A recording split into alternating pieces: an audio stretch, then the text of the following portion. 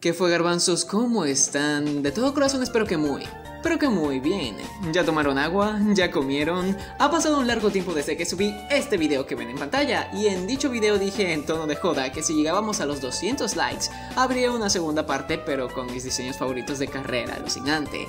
Dicho y hecho, unos cuantos meses después llegamos a la meta y quién lo diría, no pensé que ese video llegase a tener tan buena repercusión para bueno, los que son mis estándares. Así que como ando con ganas de llenar septiembre con videos de drama total, enos aquí parámetros, los mismos que los del top anterior, solo que con la ligera diferencia de que en esta ocasión no habrá mucho texto, ya que espero que este video dure cuando mucho 10 minutos, así que seré lo más conciso posible y destacaré las cosas que me gustan del diseño. En este video no serán diseños individuales, creo que el punto de Carrera Alucinante fue crear personajes que se acoplaran a una temática y representarla lo mejor posible.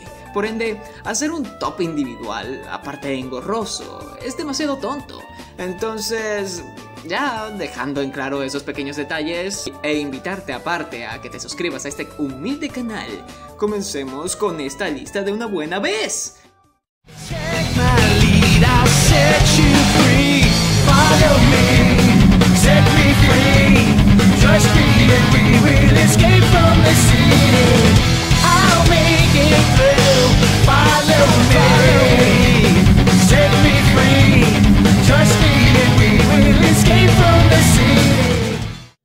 empezamos la lista medianamente fuerte con los surfistas. Y es que, ¿saben? No podía simplemente dejar por fuera este dúo dinámico. Solo mírenlos, encajan perfectamente con el arquetipo de personaje que buscan representar.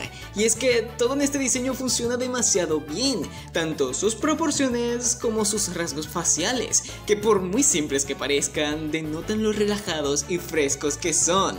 Jeff, siendo el que más se destaca de esta dupla, con su sombrero de vaquero, su camisa desabrochada y sus chanclas. Luego por supuesto tenemos a Brody, con un fucking tatuaje, una fucking franelilla bajita y un par de zapatos bien piola. Vamos, un malandro común y corriente de Venezuela. 100 puntos en facha y 100 puntos a su paleta de colores rosada, que los coloca, por supuesto, entre los mejores personajes rosados de la historia.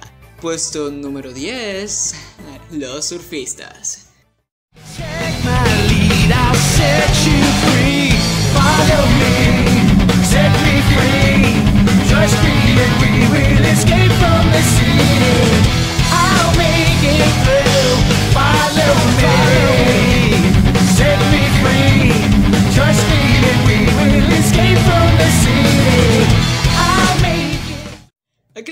Una pregunta. ¿A quién de ustedes no les pareció gracioso o cuando menos curioso que Justin Bieber fuera hijo de José Antonio Castro en esta temporada? Saben, me gusta mucho lo bien planteado que está el concepto de padre e hijo en una serie de este estilo. Y en cuanto a diseños se trata, el de Dwayne y Junior encaja perfectamente con este perfil. Dwayne es tu típico padre primermundista y Junior luce exactamente como tu adolescente pendejo primermundista. Volviendo a estos dos, una de las presentaciones mejor logradas dentro de la serie. Por lo cual no habría ningún motivo para no ponerlo en esta lista, siento que están bastante bien ejecutados y que de verdad se ven bastante tiernos dentro de lo que cabe. Puesto número 9. Padre e hijo.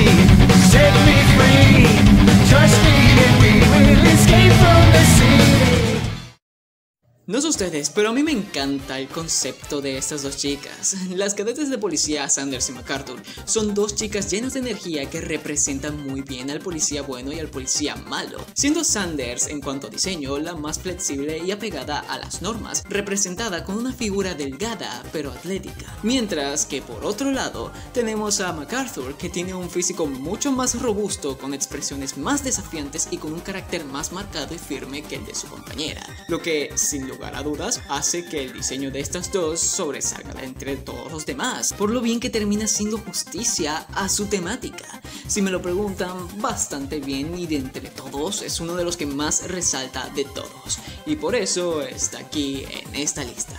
Puesto número 8, las cadetes de policía.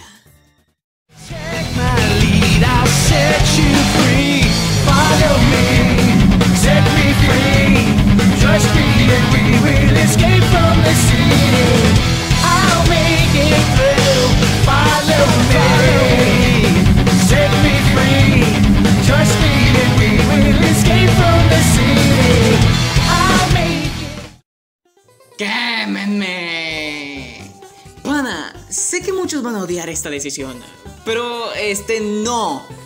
es un video sobre escritura, sino sobre diseño de personajes. El diseño de los roleplayers es increíblemente bueno. Tammy God y el hechicero supremo Leonard representan de la manera más degradante la realidad que hay detrás de muchos roleplayers hikikomoris que no saben diferenciar la realidad de la ficción. Y es que solo mírenlos, te dan ganas de patearlos solo con verlos. De más está decir que el concepto de estos es jodidamente original y cada detalle en sus trajes de verdad lo ponen por encima del resto en cuanto a temática se trata.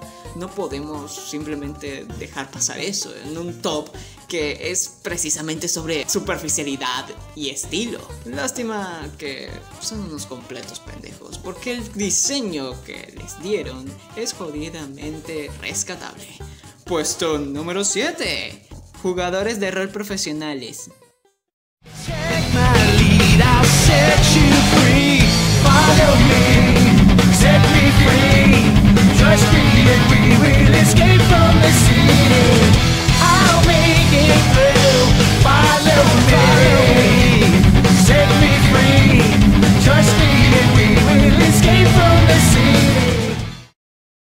En la historia de la animación ha habido un montón de personajes terribles que no aportan nada a sus respectivas historias y que solo están ahí para matar tiempo o para simplemente morirse, pero que por alguna razón que nadie logra comprender se quedan en nuestras memorias por lo, vamos a ser francos, lo atractivos que son sus diseños. En el caso de las científicas ocurre algo con solo una de ellas. Todo el fucking mundo ama a Elodie, a todo el fucking mundo le pone Elodie, pero el personaje personaje es malísimo, bro. No hay nada aparte del diseño de este dúo que sea resaltante. No voy a discrepar con eso. El concepto de las chicas nerds que son por alguna razón muy inteligentes les queda perfecto. Elodie es hermosa y su vestuario entona demasiado bien con el arquetipo de personaje. Y Mary... Eh, pues ella existe. Nah, se crean. Mari me parece el mejor logrado, ya que de ella si te esperas un maldito premio Nobel. Sí, podrá ser una percepción basada en estereotipos, pero es what drama. Y al igual que con los roleplayers, la sátira detrás de estos diseños está simplemente excelente. Sin más que acotar a este punto, puesto número 6, las científicas.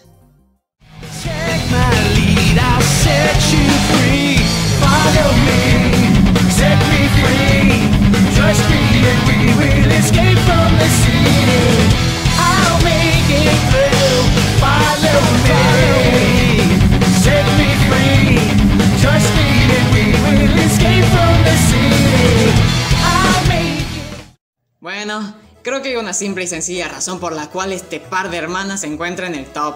Extravagante, gigantesco y hermoso carisma de Kitty. Sí, la dupla de hermanas tiene uno de los mejores diseños y de los más funcionales de todos. Como dice un proverbio que escuché por ahí, de la sencillez se encuentran las cosas más hermosas. No tengo idea de dónde escuché eso ni quién lo dijo, pero el huevón que lo hizo, pues no mentía. Sí, son chicas normales con outfits normales y toda la cosa, pero tal y como con las cadetes, las proporciones, gestos y hasta la paleta de colores de ambas reflejan lo dispares que son, pero lo unidas que están al mismo tiempo. Kitty viste con colores más llamativos para denotar su energía, mientras que Emma viste colores más oscuros y ropa más sencilla y formal, para denotar su madurez por sobre su hermana. Sus diseños en concepto contrastan tanto, pero en ejecución funcionan demasiado bien, que bueno, simplemente no pude dejar por fuera estas dos asiáticas. Puesto número 5. Las hermanas.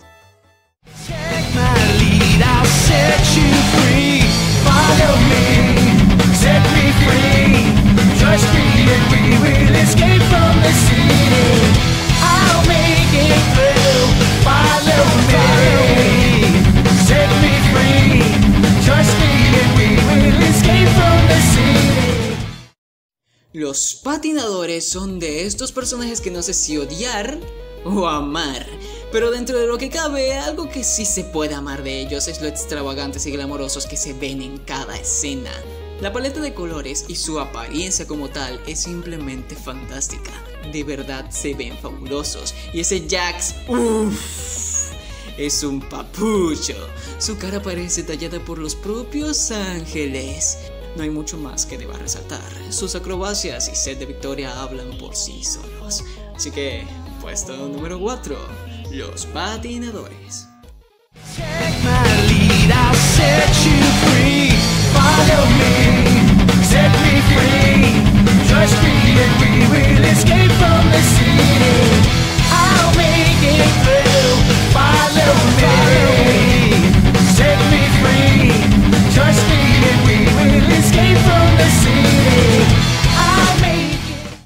Si Owen está entre mis diseños de personaje favoritos de todo drama, no podía simplemente hacer falta en este top, acompañado de Noah, por supuesto, otro que si bien individualmente no me parece que tenga un diseño sobresaliente, como pareja en carrera alucinante, vaya que sí se duplica su valor.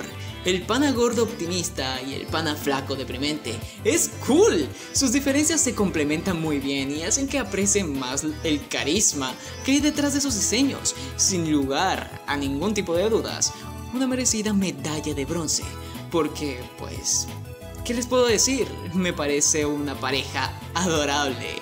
Pero no me rayo un poco más porque estamos a nada de llegar a la medalla de oro. ¿Quién se la llevará? Pues estamos por averiguarlo. Puesto número 3. Owen y Noah.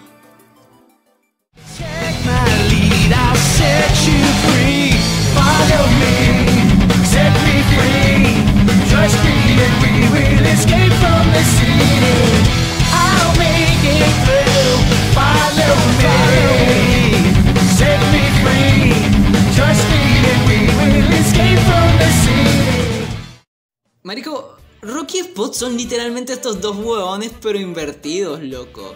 Y pana, si ellos dos reciben la medalla de plata es porque me encanta lo bien representado que está el estereotipo de rockero con ellos dos. Vamos, Rock es fucking Axel Rose. No puedo simplemente no ponerlos aquí. Es decir, aquí esta vez sí no puedo llegar a ser nada objetivo.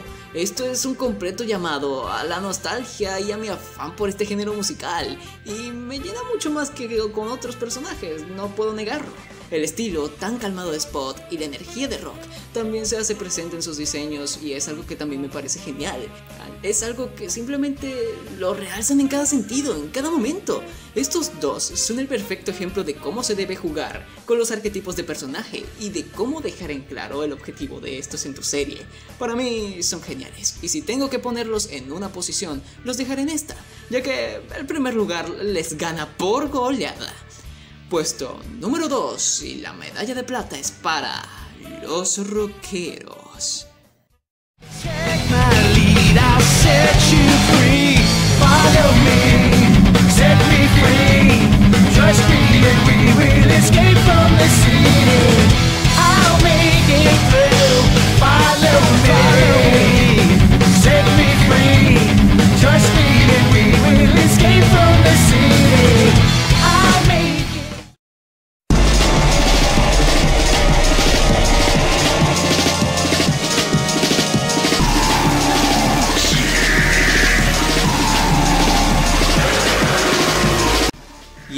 al final de esta lista, con los ganadores siendo los góticos. Y es que creo que era genuinamente obvio que ellos serían los ganadores. Crimson y Nui son de esos personajes que su simple presencia como tal ya es icónica por sí sola. No solo cuentan con varios estilos, sino que a diferencia de Gwen, ellos dos sí son verdaderos góticos bien darks, personas lúgubres cuya paleta de colores es simplemente mejor que el azul opaco que utilizaron con Gwen en su momento. Los góticos son pálidos, usan ropa 10 veces más rara y son edgys de profesión. Sin lugar a dudas, el diseño mejor logrado de todos, el más épico y el más icónico de la serie. Este par es inolvidable y espero que en algún momento nos den algo de ellos, porque yo creo que de entre todos los personajes de Carrera Alucinante fueron los que más faltó por ver. Sin más, en el puesto número uno y con la medalla de oro, tenemos a los góticos, que de verdad se merecían esta medalla. Y bueno, garbanzos, ese fue mi top 10 de los mejores diseños de carrera alucinante. Si alguno de los personajes que salieron en esta lista no te gustan nada o de lleno alguno de los personajes que no salieron en esta lista crees que debían tener un lugar en el top, eres completamente libre de dejarlo en los comentarios. Y aparte, puedes dejar tus ideas para próximos tops. La más original y la más chévere para mí será la que gane el derecho a hacer el siguiente video de tops de este canal. Porque en cuanto al siguiente video que voy a subir, pues ya ustedes saben de quién coño estoy hablando. Así que este personaje Noah nos va a dar mucho de qué hablar en el próximo video.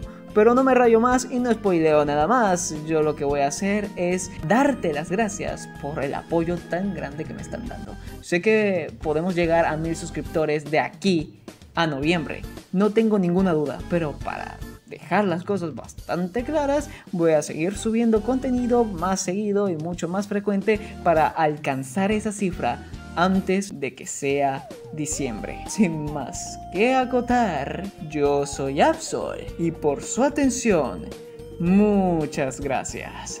Bye.